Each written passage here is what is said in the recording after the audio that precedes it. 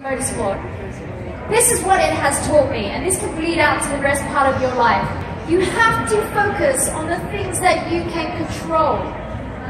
In racing, and I'm going to keep going back to this, but this applies to everyone. On the circuit, you cannot control the weather. You can't control your hardware, your car.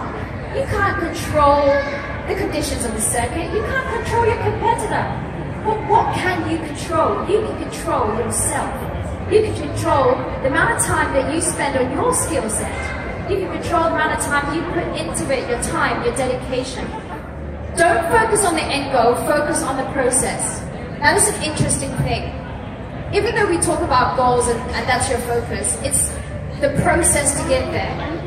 Once again, in racing, if a guy is on his last lap at the Formula One, Lewis Hamilton is thinking, two corners from the end, this happens all the time to drivers. You see these crashes on the last lap. They're thinking about them being on the podium. They're thinking that, oh, I've overtaken him. Um, I've got 10 points up on him from, from Vettel. What happens?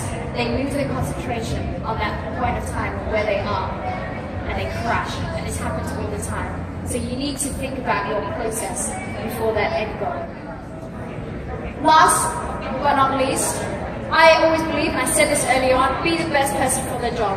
You work on your skill set, you work on who you are and how you're going to get there.